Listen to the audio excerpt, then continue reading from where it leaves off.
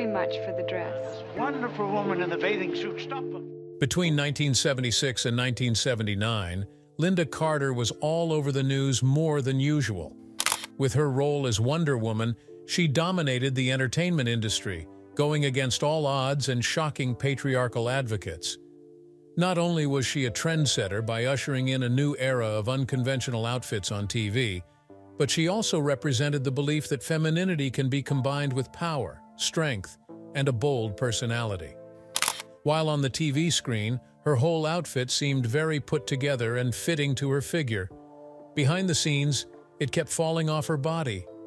What was the cause of the consistent wardrobe fail and what was done to solve it? Join us as we reveal everything about Lynda Carter's outfit as Wonder Woman and how the series was the first of its kind. The rise of Wonder Woman on national TV. Lynda Carter's role as Wonder Woman in the 1970s is very well known. She made Wonder Woman a part to be powerful and strong, which is an impression people still have till today.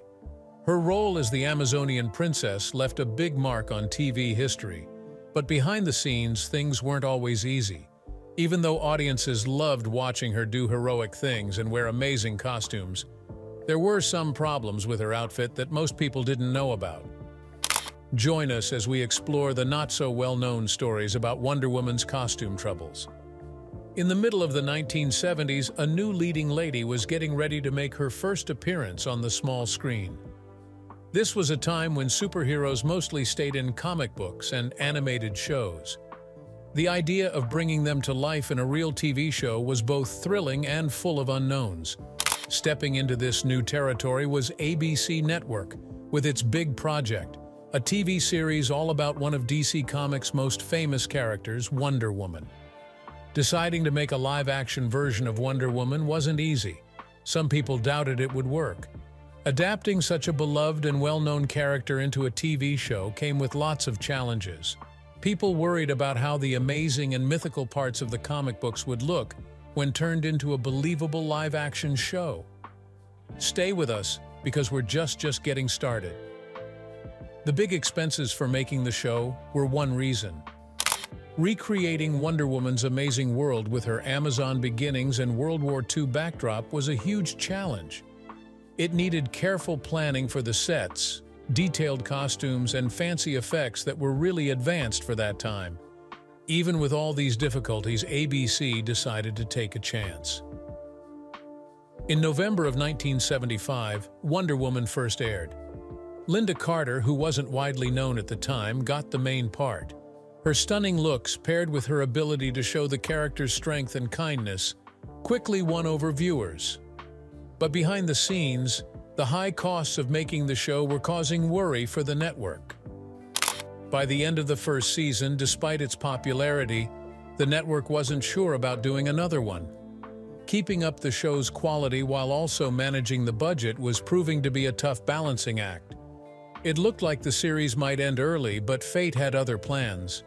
Wonder Woman got a new chance on CBS. CBS saw the show's potential and decided to take it on, even though ABC had hesitated. This was a big change that not only brought new energy to the character, but also marked a turning point for the show's development. CBS had to make some changes to deal with the high costs of production. They made smart choices. The biggest change was moving the story from World War II to modern times. This saved money on sets and props and made the stories more relevant to the world we live in. When the story moved from the past to the present, Wonder Woman's character also went through some small changes. Her outfit got adjusted to match the new period.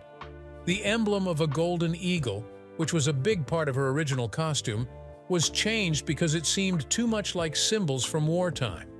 Instead, it was replaced with a simpler gold design. This change in her costume, though not big, showed how the show was moving in a different direction under CBS.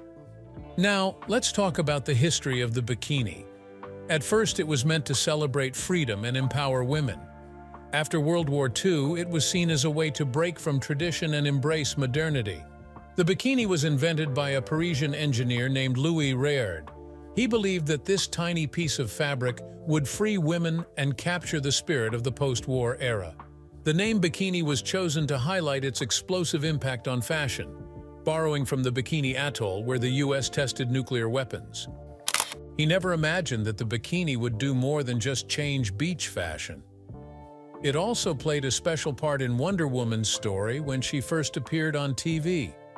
Her iconic outfit, a mix of patriotic symbols and Amazonian themes, was central to her character, showing both strength and elegance. But during the series, a two-piece bikini became part of her costume, especially in episodes about her origins and her Amazonian connections. It was meant to echo the freedom and power the creators envisioned, resembling ancient gladiator attire to highlight her agility and strength. But what seemed perfect in theory didn't always work smoothly on screen. The idea of a strong, agile Wonder Woman in a bikini made sense thematically, but filming action scenes with it gave unexpected and often funny problems. As it turned out, the bikini, though stunning, wasn't practical for the intense stunts and action sequences the show became known for. That's not all. There were moments when the straps of the bikini would suddenly break during filming, or the outfit would shift in unexpected ways that the designers hadn't predicted. Lynda Carter, always the pro, would find herself briefly struggling with her costume to prevent any accidental exposure. This would often result in laughter erupting on set, leading to the scene being cut as everyone rushed to fix the wardrobe issue before the next take. The bikini also brought new challenges in terms of consistency because of its flexible nature. It could look different in various shots of the same scene, causing headaches during editing. Ensuring the costume remained the same from scene to scene became a difficult task of careful observation and quick adjustments. Over time, these amusing wardrobe mishaps increased, providing the cast and crew with plenty of behind-the-scenes amusement, but they also needed a costume that not only looked good but also functioned well. It became clear that while the bikini represented empowerment, it might not be the most practical choice for a superhero who is always on the move. How the Wonder Woman superhero outfits evolved. From the moment she appeared in DC Comics and on TV screens, Wonder Woman's outfits have been as important as her lasso of truth or her Amazonian background. Lynda Carter's portrayal of Wonder Woman and the changes in her outfit across three seasons of the show offers an interesting look into how the character has evolved and how fashion changed over time. In the first season, which took place during World War II, Wonder Woman wore an outfit that paid tribute to her comic book origins. The colors were vibrant, with red, blue, and gold being prominent. The bodice, a key part of her outfit, featured a striking gold eagle design. This eagle represented her patriotism and connection to Greek mythology, emphasizing her strength, freedom, and resilience during times of war. As the series moved into its second season set in the 1970s, Wonder Woman's costume underwent subtle changes to reflect the era's fashion trends and the character's evolution. While the basic colors of red, blue, and gold stayed the same, there were lots of changes in how they were put together, the materials used, and even the big gold eagle on her chest. In the beginning, the eagle was spread out and took up a lot of space on her costume, but later on, it got a bit sleeker. This might have been because fashion was changing in the 70s, with people liking smoother designs more. The new Eagle still looked cool, but it was simpler, with fewer feathers. It still showed off Wonder Woman's style and how graceful and agile she was. As time went on, her costume changed again. The whole outfit kept up with the times, using better fabrics that were probably made with new technology. Even the belt, cuffs, and boots got updated with new designs and details.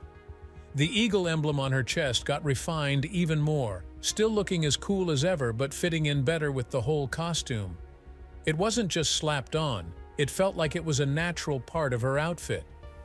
This change in her costume could show how Wonder Woman was becoming more connected with the world outside her Amazonian home. She was getting more involved in what was happening in the world of men, and her costume changed to reflect that. Lynda Carter was more than just the costume she wore, there's more. Lynda's enthusiasm for her role showed in how she approached every aspect of her character. She didn't settle for just acting, She wanted to truly embody Wonder Woman. This determination led her to do many of her own stunts, which was rare for lead actors, especially in the 1970s. It wasn't just about showing off her physical abilities, it was about ensuring the authenticity of her portrayal by fully immersing herself in the role.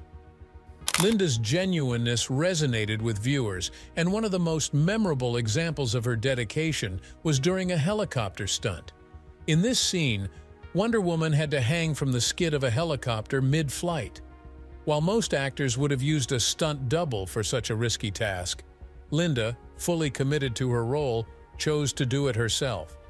As the helicopter rose with her dangling from it, a rush of adrenaline mixed with a clear sense of purpose engulfed her.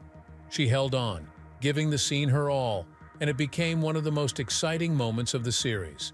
The story of Wonder Woman on TV wasn't just about one famous costume. Throughout the series, many different outfits were used, each made for specific situations and themes. These outfits added depth and flexibility to Diana Prince's character. They weren't just nice to look at, they showed how Wonder Woman could adapt to different situations. One particular outfit that stood out was the full-body blue swimsuit. This costume wasn't for high-flying battles, it was for underwater scenes. Its sleek, shiny design lets Wonder Woman move gracefully underwater, like a true Amazonian princess. It wasn't just practical, it showed how she could adapt to different environments. Scenes with this costume showed Wonder Woman's ability to handle threats not just on land or in the air, but also deep under the sea. It gets more interesting. We can't not mention the Western-themed outfit, an impressive combination of the classic Wonder Woman costume with hints of the American Wild West. This attire pays homage to the time of cowboys and outlaws, placing Wonder Woman in a setting far from the cityscape viewers are used to.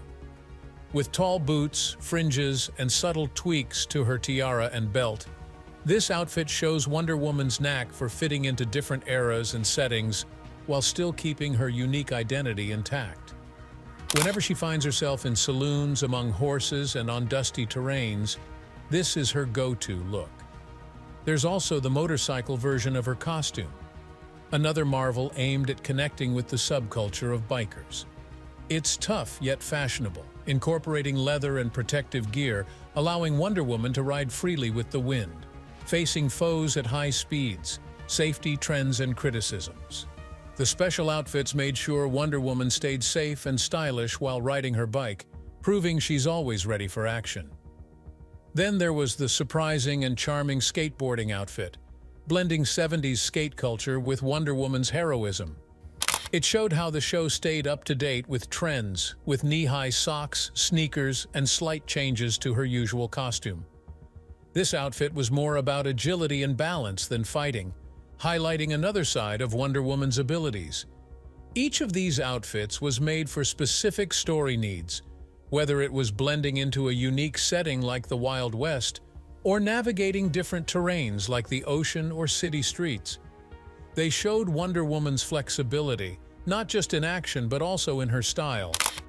These costumes weren't just for looks, they played a big part in telling the story visually, keeping Wonder Woman fresh and relevant beyond her classic red, blue, and gold attire. The series became a popular favorite, and here's another reason why. The producers of the show added different versions of the character to give viewers a variety to see. This also showed that just like the character herself, women are capable of many things and can handle any situation. The special items she uses like the bracelets and lasso are super important in the comic book world. They aren't just things she carries around. They're like a part of who she is and what she stands for. These items have been around for a long time, starting in the comics and showing up in different ways in movies and TV shows, like the one with Lynda Carter.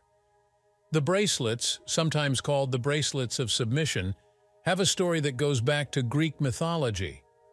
They were made from parts of a shield used by Zeus, the king of the gods. In the comics, they showed how the Amazon women were controlled by men, but then fought back against that control. When Wonder Woman and her Amazon friends wear these bracelets, they're showing their strength and their determination to stay free. These bracelets are super strong and can block things like bullets or even energy blasts. This is one of the most famous images of Wonder Woman when she crosses her wrists to protect herself. It shows both her ability to defend herself and her unwillingness to back down from a fight. In the comics, they dug deep into where these things came from and what they meant in ancient stories. But when they put it on TV, they mainly focused on how these things helped Wonder Woman right then and there. They didn't get into the history or what they meant like they did in the comics. Lynda Carter, who played Wonder Woman, had a special connection with her costume. It wasn't just about dressing up, it was like she became a woman of strength and hope when she put it on. As time went on, Lynda's feelings about the costume changed along with the world around her. At first, she was all in, knowing how important her role was to fans. The costume was made to look like the one in the comics but with a modern twist for the people watching in the 70s. It became a combination of power and femininity. Lynda often felt proud and responsible when putting on her Wonder Woman outfit. She understood how important it was to represent a strong female character, especially in a world where male superheroes dominated. But Lynda was not afraid to voice her opinions, especially when Debra Winger was cast as Wonder Girl, a younger Amazonian hero. Winger's costume resembled Lynda's but with slight differences tailored to a younger character. Lynda, protective of the legacy they were creating, had concerns about maintaining the dignity and whole point of the characters while introducing new actresses of the role in newer eras.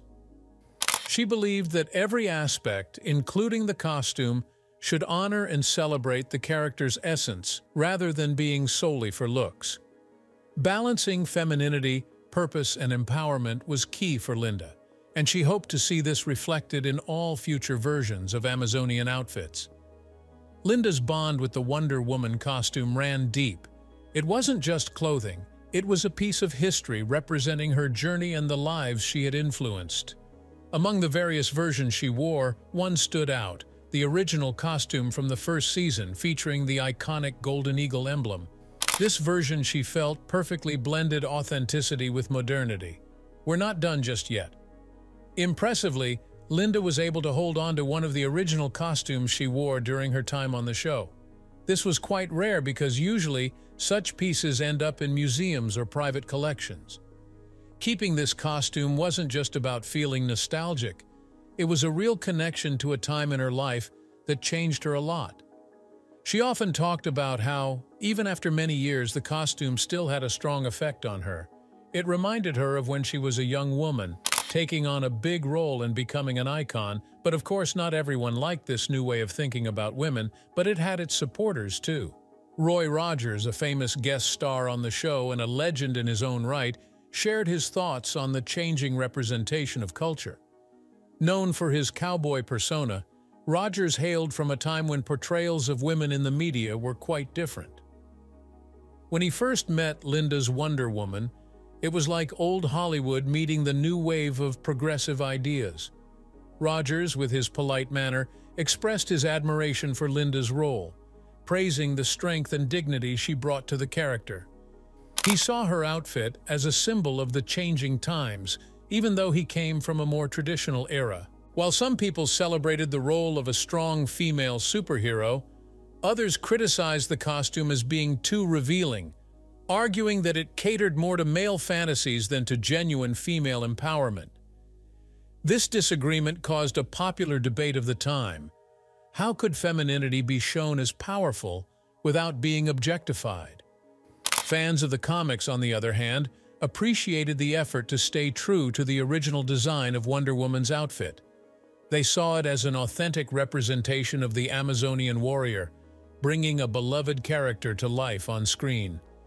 Details like the Gold Eagle emblem and the Star-Spangled design resonated deeply with die-hard fans, bridging the gap between the world of comic panels and the vibrant hues of television screens. As the show progressed and introduced various costumes, each outfit served a narrative purpose. Whether it was the full-body blue swimsuit or the Western-themed attire, these wardrobe changes told stories of Wonder Woman's adaptability and versatility, while she stayed true to her main purpose. Did you ever watch the first Wonder Woman series? What do you think about it? Was it one of your top superhero shows when it aired? Share with us in the comments. If you enjoyed this video, leave a like, share it with your family and friends, and subscribe to our channel.